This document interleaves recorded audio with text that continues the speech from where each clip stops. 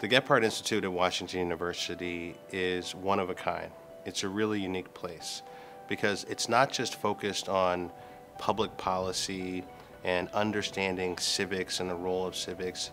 It's about engagement. It's about service. It's about building leaders who are graduates of Washington University who are serving all of us around the country for the rest of their lives.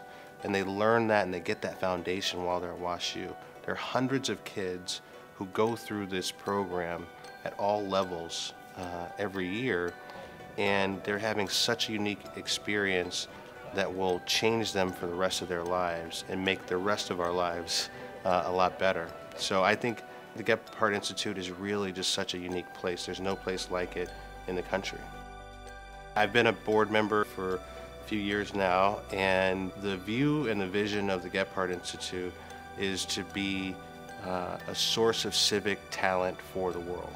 And I share that view, and I believe that the more that we focus on um, opportunities for people and government leaders in particular around the U.S., around the world, to see the talent that we have at WashU, the talent that comes through and participates in the Gephardt Institute and all their programs, uh, the better off we'll all be.